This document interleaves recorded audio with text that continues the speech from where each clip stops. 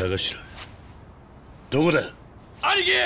こっちじゃ暗号が刺しとったんはこの辺じゃ。多分この扉の奥に何かがあるんじゃ。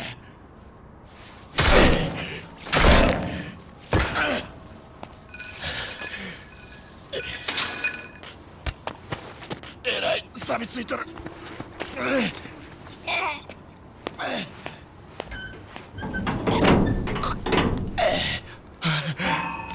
兄貴。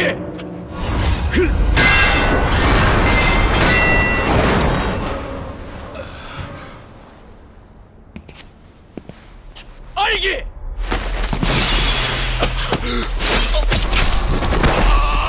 田頭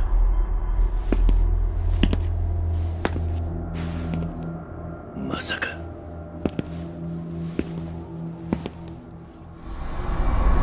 広瀬の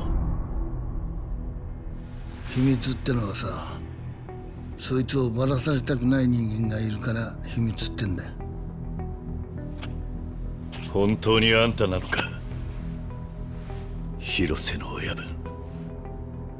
人の隠してるもんに首突っ込むもんじゃないよ。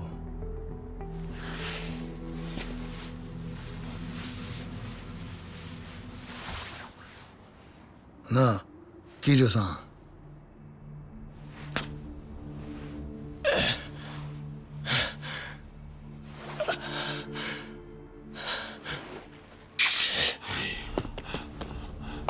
頭あれはおやっさんじゃ。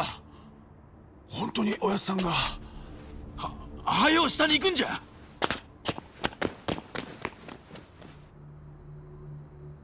尾道の秘密を守るためにあんたは雄太や春人そして遥かのことも道具に使ったのか。おい高頭そこにいろよ。後でちゃんと訳話すから。おおやさん。ほんまにおやっさんは尾道の秘密を守っとるんですか？おいじゃけ雄太をローと差し違えるように仕向けたんですか？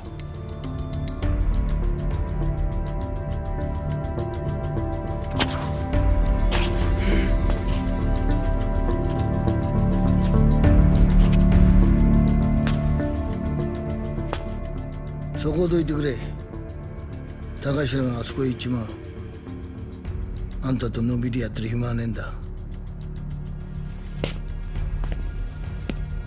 その前にあんたは広瀬一家の門に説明しなきゃならねえことが山ほどあるはずだ。なあどいてくれよ。頼むよ。なんとか言え。広瀬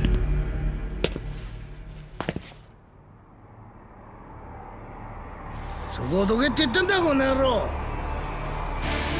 じゃあ俺を倒していくんだな。